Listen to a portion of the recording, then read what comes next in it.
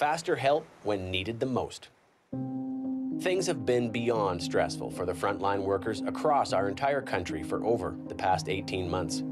For colleagues at Eastern Health in Newfoundland, an AI-fueled approach to health has made the difference.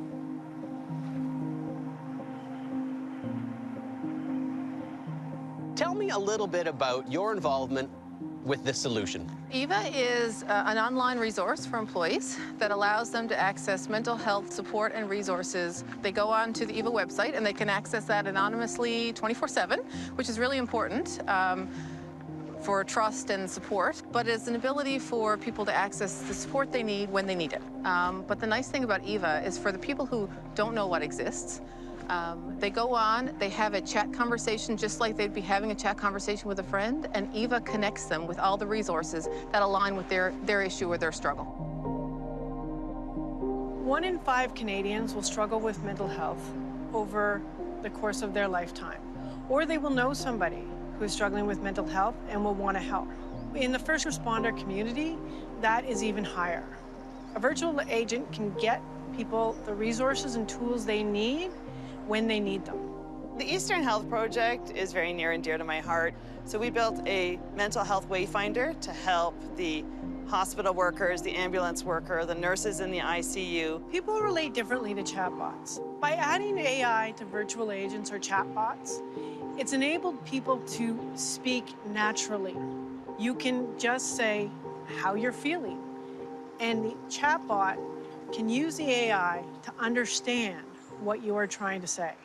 My role uh, at Eastern Health as a psych safety coordinator, um, I do the hands-on day-to-day uh, support and promotion of EVA uh, with all Eastern Health employees. I'm a critical care nurse or former critical care nurse, and uh, so I know the toll that working in healthcare, the toll it can take on your mental health.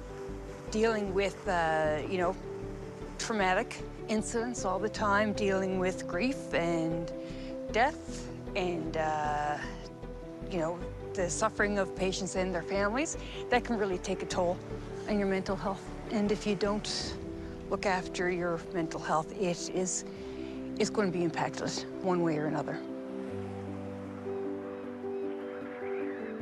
I've had um, actually more than one employee, which is really nice to be able to say that I have seen safely return to the workplace because of EVA.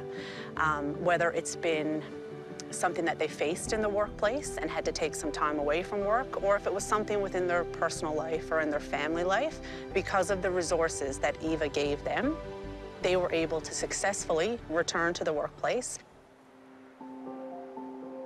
What makes you most proud of the EVA platform? Being here today. I'm so proud of the fact that uh, we are the only healthcare organization that has something like EVA.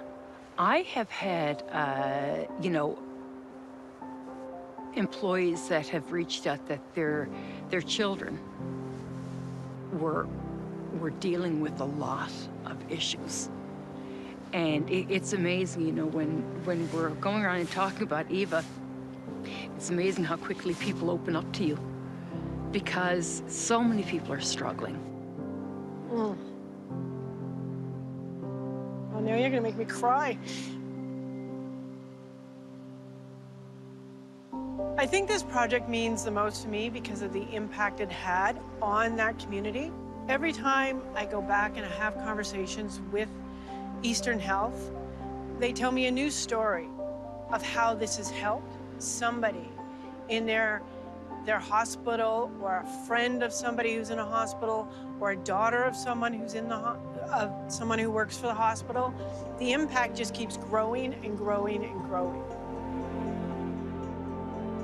They see that it's okay to talk about this how forthcoming they are with information and how forthcoming they are to ask for help because we're all struggling we all are The whole initiative for EVA is to support uh, employees.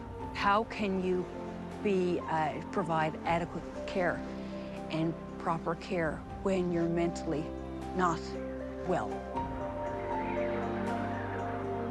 It's less of a way to replace the important role that people play in the process and more of a wayfinder, meaning more people can find the right help.